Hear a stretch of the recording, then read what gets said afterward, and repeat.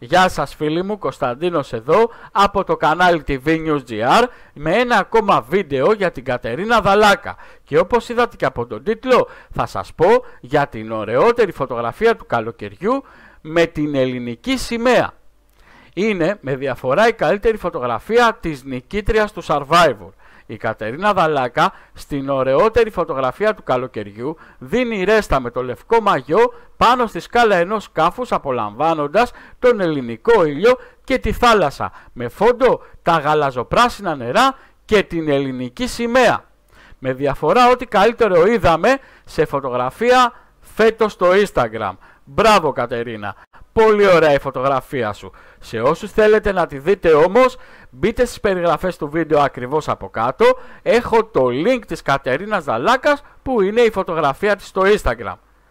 Αν σας άρεσε και αυτό το βίντεο, κάντε εγγραφή στο κανάλι μου, πατήστε και το καμπανάκι δίπλα να σας έρθει ενημέρωση πότε ανεβάζω το επόμενο βίντεο. Σας ευχαριστώ πολύ που με ακολουθείτε φίλοι μου, να είστε καλά. Γεια σας.